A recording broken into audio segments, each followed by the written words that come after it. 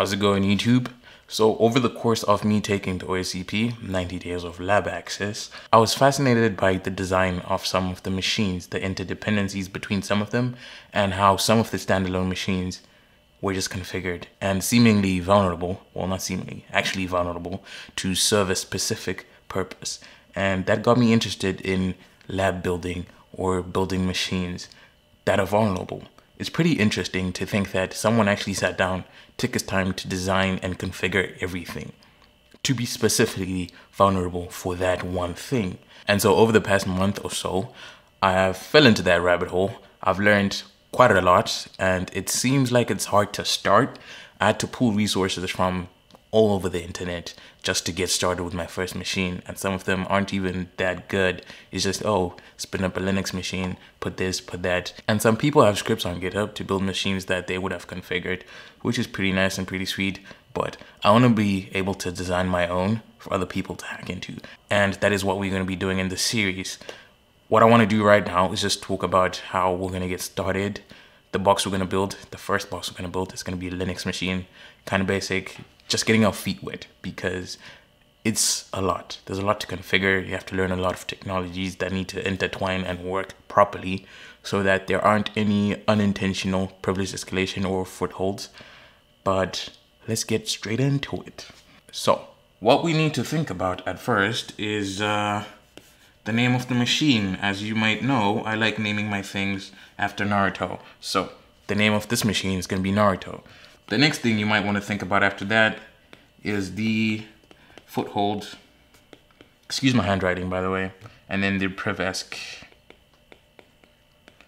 Right? How is someone going to get a foothold? How are they going to Privesc? Are they going to go from foothold straight to root? Or are they going to need to move laterally and then vertically? Stuff like that. Once you think about your foothold, you're going to need to think of um, ports. How many ports do you want open? And uh, rabbit holes. Is that how you spell rabbit? I think so.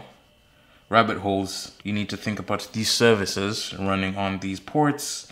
Once you think about that, Privesc, you think about users, how many users are going to be there, how much movement uh, is there going to be laterally, and what exactly is going to be the Privesc method. Stuff like that. So it's just basically that for our box Naruto, we are going to have FTP open SSH and a web server on port 80 or port 8080. That doesn't really matter for now. So we're gonna have a binary in FTP. Someone's gonna find the binary in FTP, reverse engineer it, get a password for SSH, log in as the low privilege user Naruto, and they're gonna have to privesc. Now, the privilege escalation is gonna be easy. So we just get a feet wet and then maybe on the next box we build, we may make it difficult. So the privilege is gonna be some sort of sudo abuse. That is what I'm thinking, either sudo abuse or another binary. This time it may be a misconfigured SUID binary. We can just use wget or something like that. Either these two are gonna be our privilege escalation methods and that is literally gonna be the box Naruto there is automation that needs to be done. I'm going to be using VirtualBox and Vagrant since I am too cheap to pay for VMware. But um, if you have VMware, you can use VMware with an Ansible playbook, but I'm going to be automating my builds with Vagrant. And then once we get to a point where we want to build Windows machines, we'll also be using Packer. You can also use Packer with VMware and Ansible. It doesn't really matter, but that is what we're going to be doing. That is this video. I'll catch you in the next video where we'll actually start getting our hands dirty and there's going to be a lot less of a mess when it comes to the presentation of this box. Peace.